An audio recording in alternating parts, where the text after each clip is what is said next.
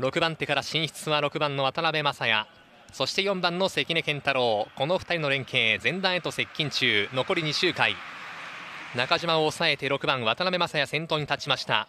そして後方から5番の佐伯翔太後手を踏まんとばかりに動いていきまして先頭に立ちました。そこへ1番の中島則重がつけましてさあ今度は1番中島則重決勝戦は中段外並走となっています。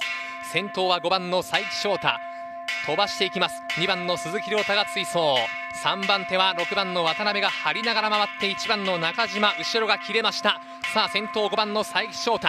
飛ばして最終選考だ。2番の鈴木亮太。そして1番の中島は浮いて失速です。3番手6番の渡辺雅也が3番手からの一気のまくり構成。さあ一気に6番渡辺雅也。先輩を捉えて先頭だ。3番手2番の鈴木亮太へ。4番関根健太郎が追い込んできましたがこれらは2着争い。6番渡辺正也圧勝ゴールイン。2着は鈴木亮太と関根健太郎。